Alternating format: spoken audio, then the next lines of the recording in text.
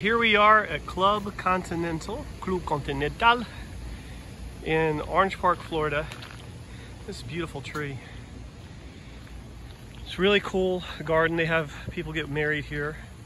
I think this will be a great place for us to have some of our meetings. And you can drive from Atlanta down or up from the Gulf. It's a beautiful area, beautiful tree. They have a great buffet here. It's like $15 a person and you can eat as much as you want. It's incredible. Beautiful pool over here. Very relaxing. I love the garden, the trees. Look at that. It's really pretty. They have a little clubhouse over there. They make drinks and burgers and stuff.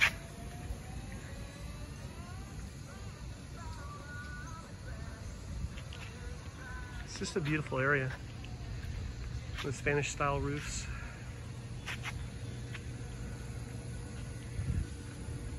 Very cool man, very cool.